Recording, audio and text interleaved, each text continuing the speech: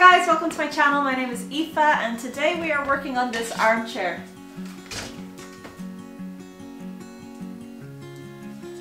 Sorry, have to let the dog sit.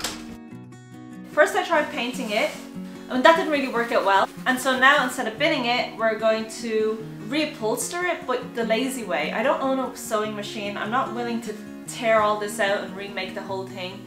So I'm just going to stick on top of it. Okay, so let's get started.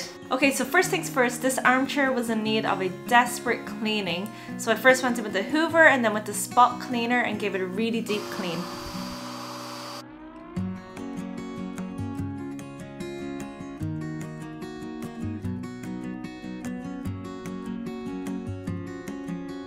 After the cleaning I painted it and this is how it kind of turned out. Let's not talk about it, let's just move on. So I just want to point out, I've never actually done this before. We're just kind of winging it as we go. There's no funner way. We bought some cushion lining. This is a great method for anyone that doesn't have a sewing machine, I think.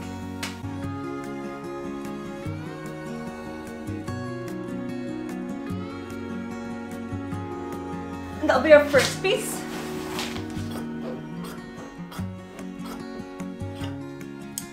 Make sure to mark each piece so that you don't get confused on which piece goes where.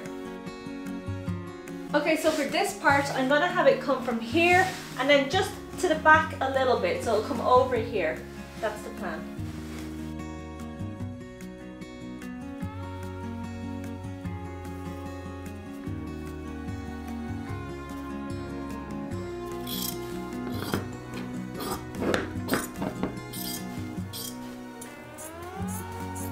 So for the arm, I'm going to do this part and bring it down so it dips in here. So I might as well just go the whole way to there. So we'll break it here and then I'll do a separate piece for here. And we're going to cut two of those, for each side. This side is a little more complicated so I think what I'll do is wrap this part first and then I'll have to make an extra piece for here. I think that's my best option.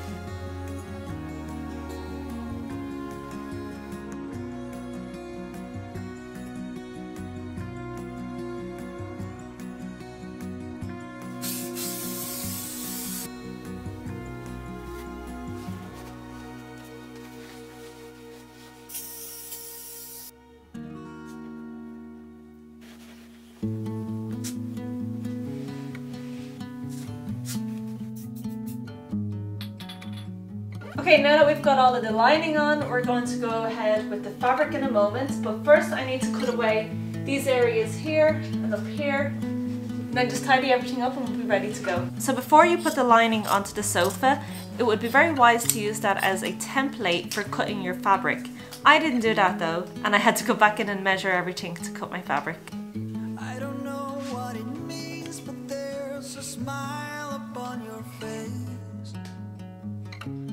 So for this armchair we got about 6 meters of material and I think we went with 3 meters of lining.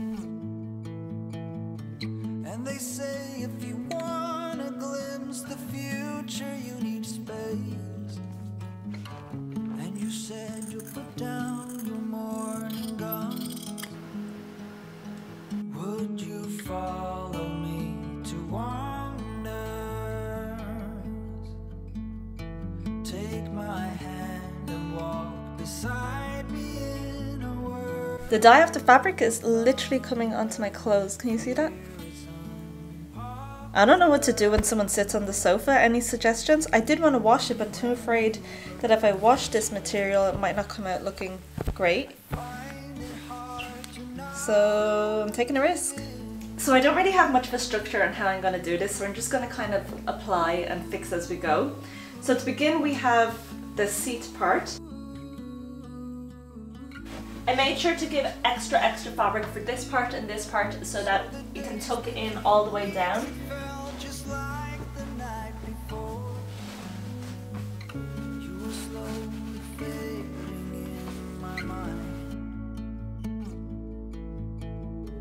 I will try and staple down the sides here if I can, but probably won't happen. There is some wood though, so if I can, but I doubt I can get this anywhere. We'll try, we'll see. The staple gun requires a lot more hand strength than I actually thought it would need.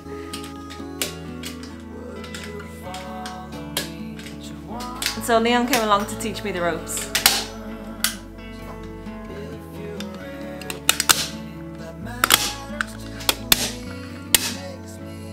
I just tucked these fabric pieces into the sides and I tucked them right into the very back as far as they would go. And honestly, this has been working out fine for us. I did make sure the pieces were long enough that I could tuck them in well, because if they're not tucked in well, then they will come up again on you. And if this is the case, you could use some hemming tape to just help hold it down. So here there doesn't seem to be any wood so I don't know if this will stick in. Let's try find out. Okay. Might not last too long, but...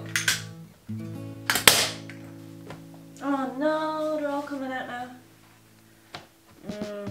Okay, maybe I'll just try and stick to the wood. I'll have to staple where the wood is These parts of the arm were the hardest part of the entire project. they took me a lot of time. Actually, they took me the most time out of everything I had to do. I don't really have any tips or tricks for working with this piece. What I just recommend is making sure you leave enough fabric to play around with and then just play around with it until you find what works best for you.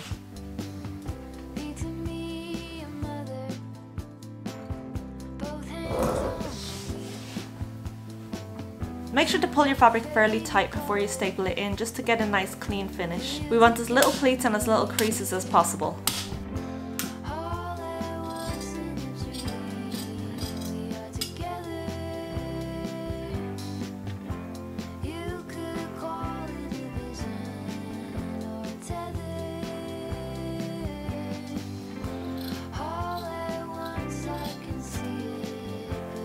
Here's Leon coming to check on my work.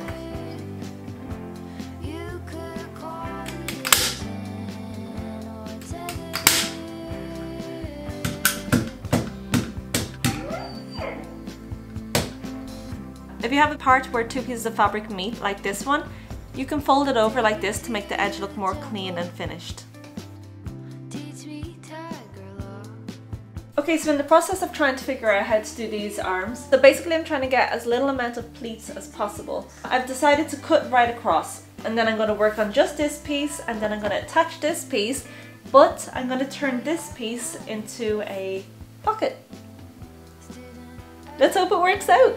Okay, Let's start. I get nervous when I come up with ideas like this.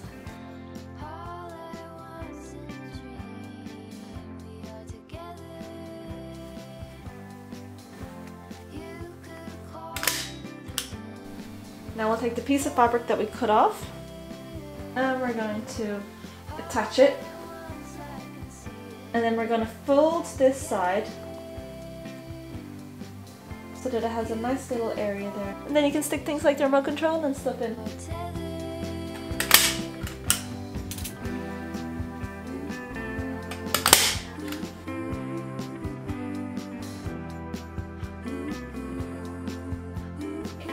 So what we're going to do is spray Again, I would kind of advise using hemming tape here if you have it. And then I'll do two staples that won't be really secure staples, but they'll be there. And then it will be a pocket. It won't be a very functional pocket. You could probably stick a remote control in it. Um, but not a lot else, I don't think.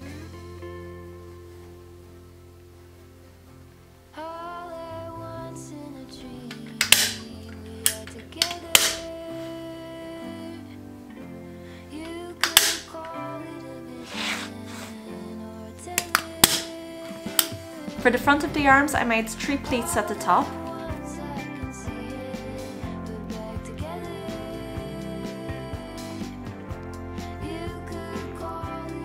and then I stapled all around it. I then pinned some fabric on and cut around it to start getting a shape that I wanted.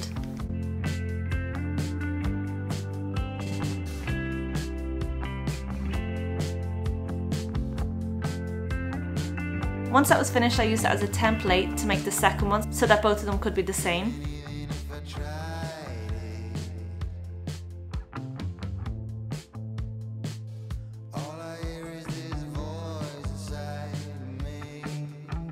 And then I used my trusty old friend Hemming tape to tape everything in place.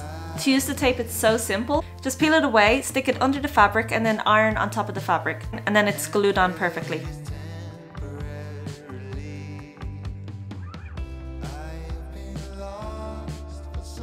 Next I made my own trim. You can go out and buy some nice fancy trim but I wanted mine to be exactly the same colour so I just made it myself. I cut some strips and then I folded it over with some tape holding it in place. And then I hot glued it around all the edges that I needed. I did this on the back as well.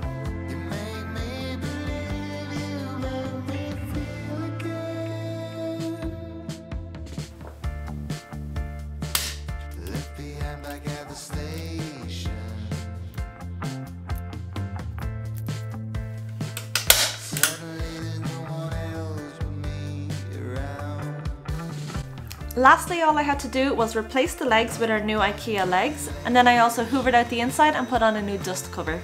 And then we were finished! I hope you enjoyed these results. I am in love with this.